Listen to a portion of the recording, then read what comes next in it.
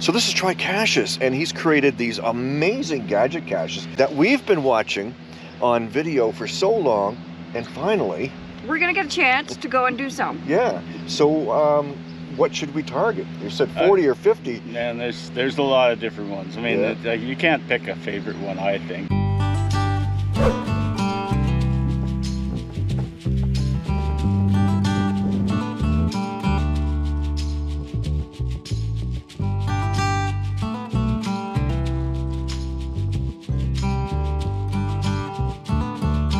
I've got a, several I really like to see, but uh, Yeah. they're they're all different. Every one of them. Well, write them down on a list, and maybe we'll hit them up. We only have time for a few. yeah. You know, because I've seen that 40 or 50, and I said there we'd be here all day and more. Yeah. Yeah. Yeah. So yeah. We only have time for a few because we're passing through. Okay. We're on our way from Ontario to Saskatchewan, so we don't have a whole lot of time. You so- got a little bit of driving ahead of you. yeah, Mhm. six and a half hours. So, Okay. but we had to stop and get some of your Oh, geocaches. cool. That's so awesome. We're gonna head off to one right now. We're gonna have uh, some fun. We're gonna head out. Thank you so much for coming You to bet. see us. I'm glad you came out. Yeah, I wish we could uh, spend some more time, but Oh, We're you're on the missing run. out. You're missing out. I'm telling maybe you. Maybe we could come back and when is it? Gilby, September September 16th. You'll And- be gone wild. and yeah. I've heard that Bob Billy is going to be right here on this spot He is. doing Bob Billy's Mhm. rock paper scissors. So yeah. you never Wow. know. We We don't don't know what we're going to do in September. We'll September. see. yeah. We'll see. I don't know how he dare comes into my territory and challenge everybody like that. All right, there's a challenge up for you between you and him. You bet. Awesome. One on one. All right, thanks very much. We got to get out there and get some caches. Come to Gilby.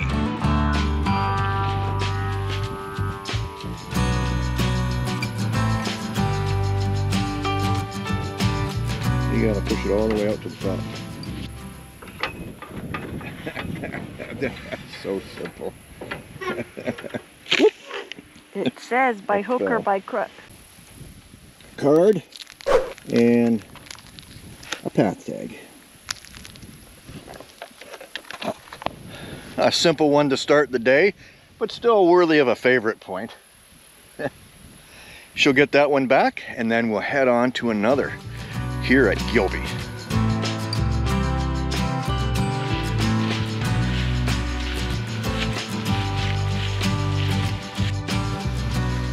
It's a fun and interesting device. Possibly? Well, we just got to get in there and find it, then figure out how to get in it. Mm-hmm. Looks interesting.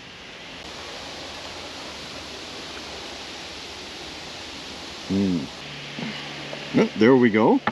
Close this drawer first, then the door, and do not touch the do not touch this switch. Alrighty then. Oh, these are just red Oh, herrings. hold on. This is not the cache, I don't think. No, it said you gotta check the. Uh-huh. We need something to do something. hmm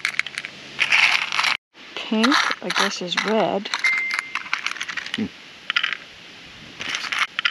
Methinks she has deduced the method of getting the cache because I think this one pops out from the bottom. And if you can't get it, the uh, cache owner's phone number is right on the post just to help you Oh, out. that one's purple. Okay. And I I think this part just pops off below. So you really need to check the hint out for Mhm. this one, and it's a good hint. And Yeah. if you keep it in the brain, it eventually will click for She you. was on the wrong track, and I thought the same thing was it, but it wasn't what a red she was doing. I was looking and at. I've looked at the box; doesn't open from the bottom. Look at this. Bing, bing, bing! It opens from the side, and uh, we can't really show you because you got to come here and figure it you've figure it gotta come and be frustrated on your own. yes, this It's- is another awesome one clever, from then there's lots of red herrings. Awesome, very cool.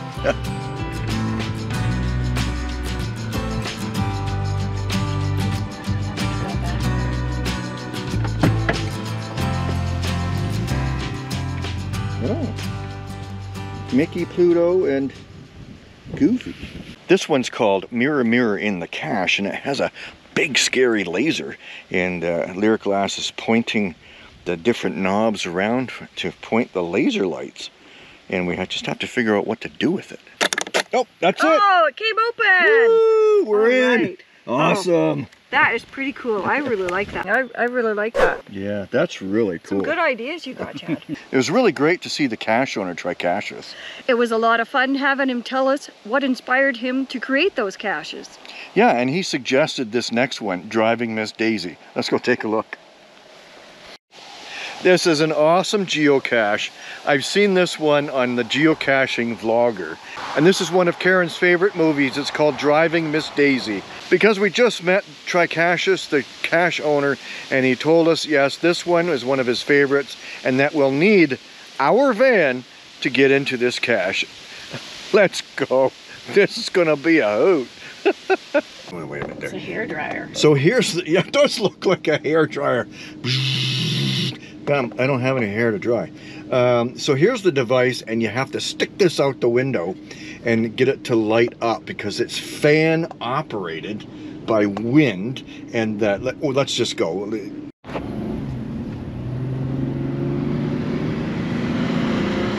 it's on. You gotta go fast enough to get the lights to go on and you can see the three lights with the fan. Woohoo! This is so much fun. I love this. This is great. oh, speed radar! There's a Cricket right there. There's lots of crickets all over. Yeah, we got it. Bing, bada boom. Okay, that was pretty crazy. I didn't have any Wi-Fi, so I couldn't read the description. So this was like, what do I do? Ah! Yeah, like there's virtually no signal out here. So it was a good thing I had seen this on a video before and knew exactly what to do with it. And that was so much fun. Well, that was a really cool geocache. yeah, that was a lot of fun. These Yeah. have all been great Mhm. caches to come and see. And it's a shame we have to go off and move along, but we have adventures coming up because we're moving uh, along and geocaching along the way to Western Canada, hmm So keep watching. There's more caches to be found. where will geocaching take you? I knew wheat was big in North Dakota, but I didn't think it was that big.